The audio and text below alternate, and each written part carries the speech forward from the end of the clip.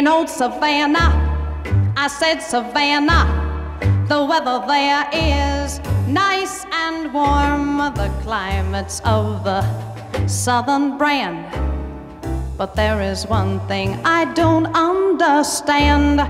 They got a gal there, a swinging gal there, who's colder than a witch's heart, like a stone. Even icemen leave her alone. They call her hard-hearted Hannah, the vamp of Savannah, the meanest gal in town. Talk about your cold refrigerating mamas.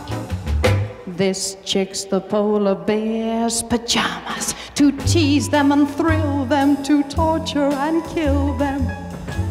Her delight, they say.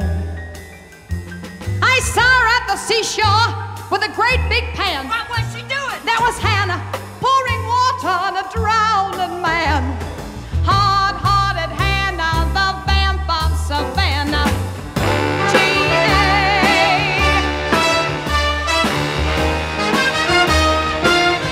They call her hard hearted Hannah, the vamp of Savannah, the meanest gal in town. Is tough, but Hannah's heart is tougher. She's the kind who likes to see men suffer, to tease them and thrill them, to torture and kill them. Her delight, they say. An evening spent with Hannah sitting on your porch is like walking through Alaska in your shorts